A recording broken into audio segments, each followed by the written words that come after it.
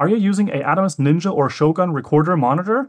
Then I think I have great news for you because Atomos actually made their latest OS upgrade to Atom OS 11 compatible with pretty much all of the more or less current devices, like for example the Ninja V, as well as the 5 Plus, the Ultra, of course, has that operating system as its default, and the Ninja as well. Now, why is this amazing news? First of all, Atomos decided not to just deprecate their older devices in favor of their newer Atomos Ninja Ultra, for example, and just have us be with what we already had. They're going forward with this technique of actually bringing up older devices onto the same level playing field with their latest operating system.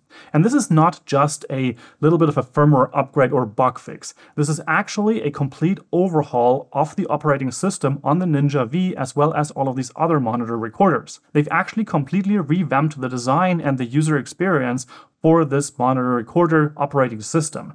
And they're adding in a couple of new features. Most of those new features are behind a paywall, so you actually have to activate them in a similar way that they've did it before with, for example, the extra codecs of H.265 and so on.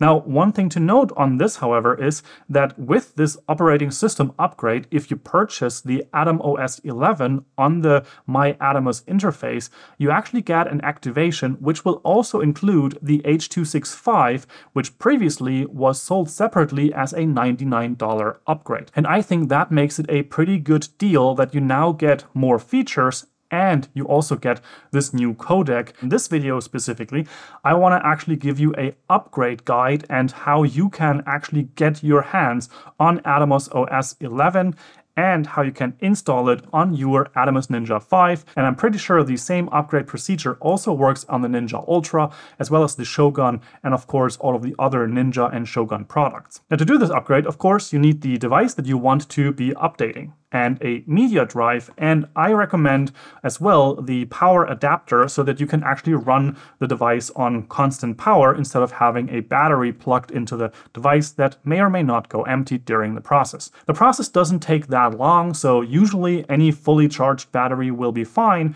but I like to be a little bit more safe with the actual power to the grid system. Now, I would recommend you actually upgrade the Ninja to the operating system 11 first, and then you check whether or not you actually have any features missing or that you would like to have from the future upgrade of that feature set, which is a purchase in the Atomos interface. Because if you're mostly using this as a mono recorder and you don't really fancy the EL Zone or the RE new false color, and you just want to continue using it as you've been doing, then you most likely don't need that upgrade.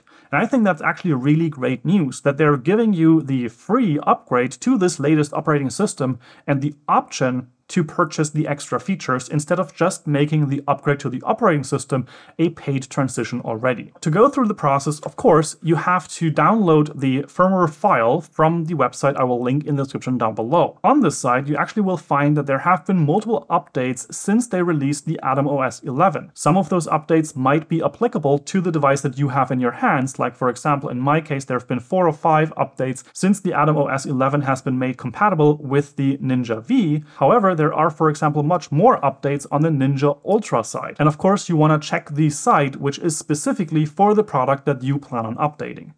Then you just download that file, which is a zip file. Once that is completely downloaded, you unzip that file and you place the firmware upgrade binary directly into the root directory on that drive that you plan on using for the firmware update. Once that is complete, of course, cleanly eject the drive and then you're ready to go over to your Ninja or Shogun Atomos recorder. Now that you have everything ready, I would disconnect the Atomos from any accessories that it might be connected to, like for example, the Atom X Cast.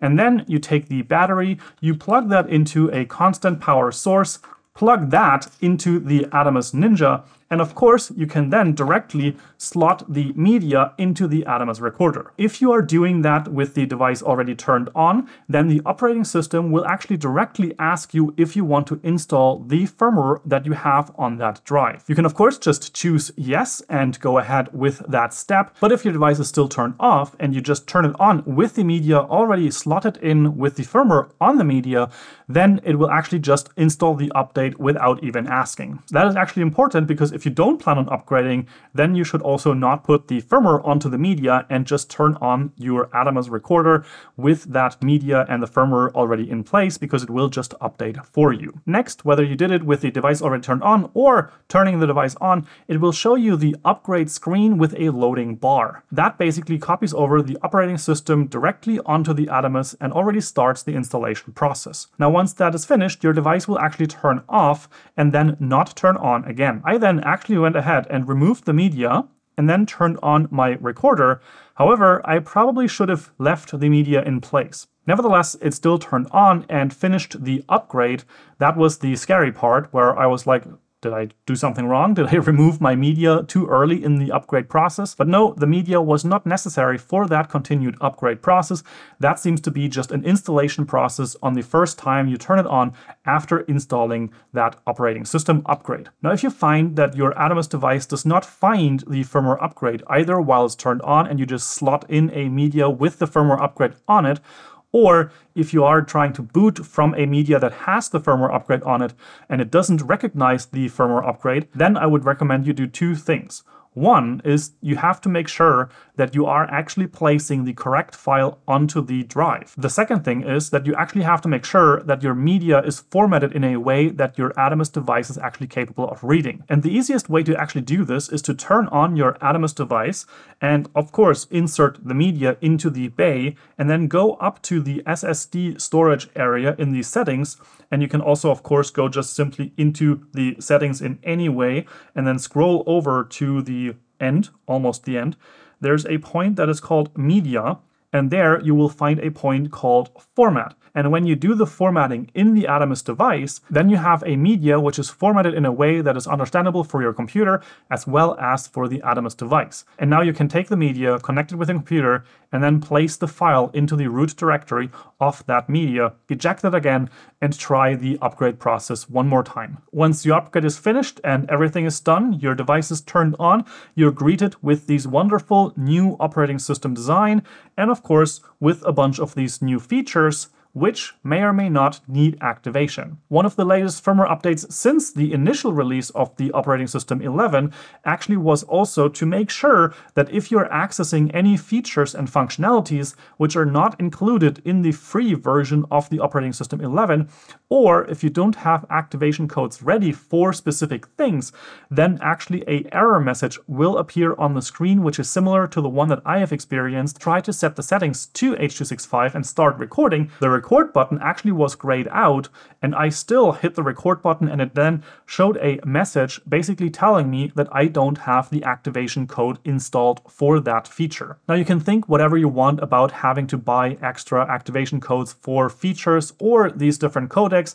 From my understanding, different codecs and functionalities like that are, for one, developmentally a process for a company to actually implement onto these devices. And of course, we bought the device with a certain feature set. Now they're adding new features. That is development time and effort that is going into this, as well as buying licensing for certain functionalities, like, for example, the licensing for ProRes or ProRes RAW or H.265. I am not sure what kind of licensing might be in that mix and what they might have to uh, pay for.